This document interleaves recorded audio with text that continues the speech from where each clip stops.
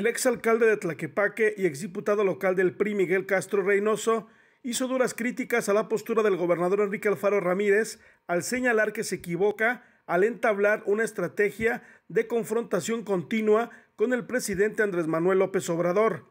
Al final, los más perjudicados de esa lucha política son los ciudadanos, ya que a Jalisco lo castigan con recortes al gasto y en el gobierno federal no respaldan proyectos de obra pública.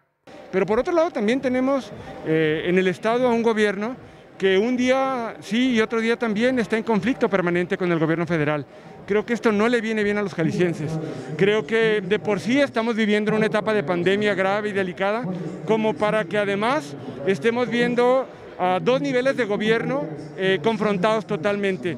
Me parece que hoy más que nunca la sociedad está pidiendo sensatez en la política, una actitud de mesura y por supuesto asumir con responsabilidad la parte que corresponde. Sobre la posibilidad de que se postule alguna candidatura, Castro Reynoso dijo que hoy está tranquilo y ocupado para resolver el juicio legal que le abrió el gobierno de Jalisco por el presunto delito de uso ilícito de atribuciones y facultades cuando estuvo al frente de la Secretaría de Desarrollo e Integración Social donde se le señala que autorizó subsidios por 5.7 millones de pesos a asociaciones civiles integradas por servidores públicos.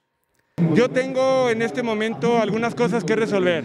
Mi tema legal no está resuelto todavía y estoy concentrado en ello. Debo de trabajar en ello porque este es un tema que quiero y debo resolver hasta las últimas instancias, pero además la quiero resolver como corresponde, porque soy inocente de lo que se me señaló. Segundo, Estoy enfocado también en mi trabajo, en mi modo de vida. Y tercero, pues estoy preparándome. Hace poco tiempo acabo de terminar una maestría, también hace poco tiempo inicié una segunda maestría. Entonces, pues estoy enfocado en el estudio, en mi trabajo y estoy enfocado, por supuesto, también en mi defensa legal. Explicó que su caso judicial lleva ya un año y medio, tiempo en el que debió resolverse. Sin embargo, no quiso atribuir a motivos políticos el que el juicio en su contra se mantenga abierto. Con imágenes de Antonio Campos, señal informativa Ignacio Pérez Vega.